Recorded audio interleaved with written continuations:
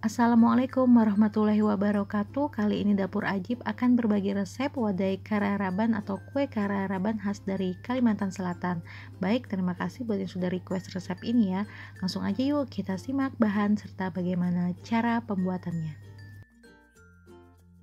Untuk langkah awal, saya akan merebus 750 ml santan kekentalan sedang dari perasan kedua dan ketiga kelapa parut.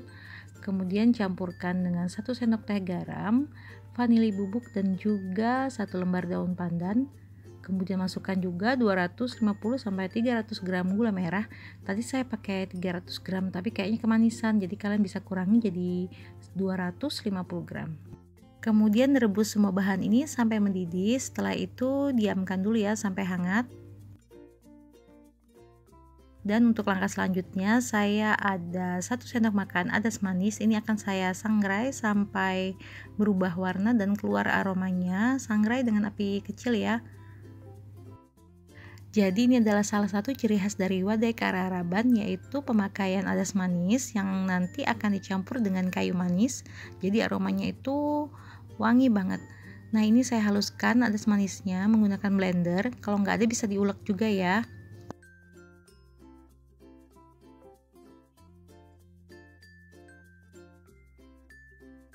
Kalau sudah dihaluskan, kemudian langsung aja diayak.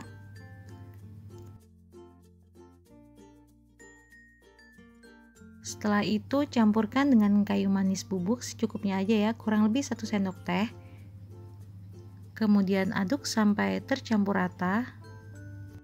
Dan ini akan saya sisihkan dulu ya. Kemudian saya lanjut membuat lalaan. Ini saya memakai 150 ml santan kental dari perasan kelapa parut yang pertama. Kemudian direbus dan dicampurkan dengan sejumput garam. Direbus sampai mendidih dan airnya itu mengering. Nah, kalau sudah mengering seperti ini, kita masak lagi ya sampai minyaknya itu keluar.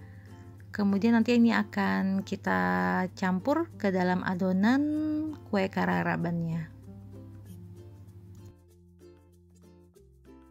Dan ini hasil dari lalaannya tadi ya. Ini akan saya sisihkan dulu. Kemudian saya akan lanjut membuat adonan kuenya.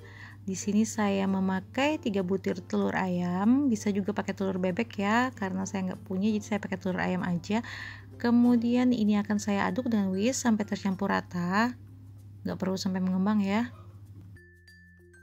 Kemudian masukkan 2 sendok makan tepung terigu yaitu 30 gram.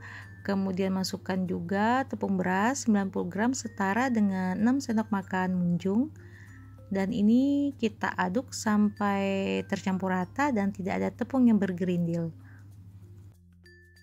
Dan ini sudah tercampur rata adonannya saya akan menyiapkan bahan yang akan dimasukkan ke dalam adonan kue kararabannya di sini saya tuangkan larutan gula merah yang sudah dingin atau hangat tadi sampai disaring ya kemudian setelah itu aduk sampai tercampur rata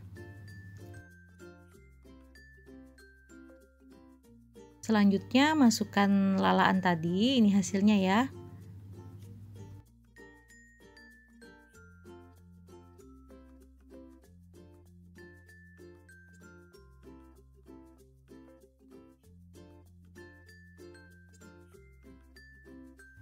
Oh iya, jangan lupa masukkan juga campuran adas dan kayu manis bubuk tadi sebanyak 1 sendok teh.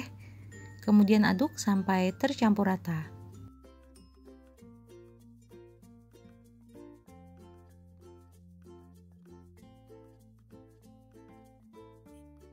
Nah, kalau sudah tercampur rata seperti ini adonannya, bisa langsung dituangkan ke dalam loyang. Jangan lupa diaduk dulu ya, supaya tidak ada tepung yang mengendap.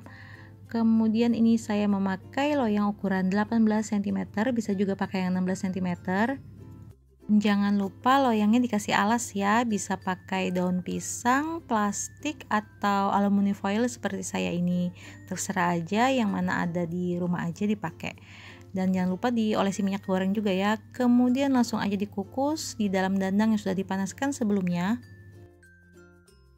kukus dengan menggunakan api sedang selama 15 menit atau sampai permukaannya itu berkulit.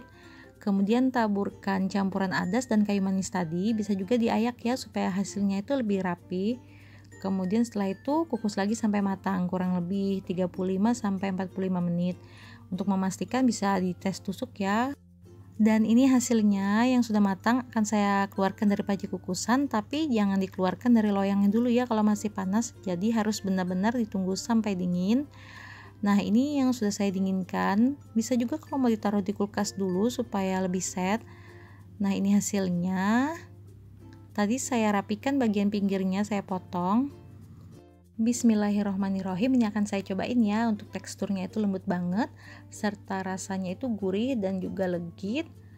Terus aroma kayu manis dan adasnya itu kuat banget. Jadi itu yang bikin beda dari resep kue basah lain. Baik selamat mencoba di rumah ya. Jangan lupa nonton video saya yang lainnya juga ya. Kalau kalian suka jangan lupa untuk like, komen, dan subscribe. Terima kasih. Wassalamualaikum warahmatullahi wabarakatuh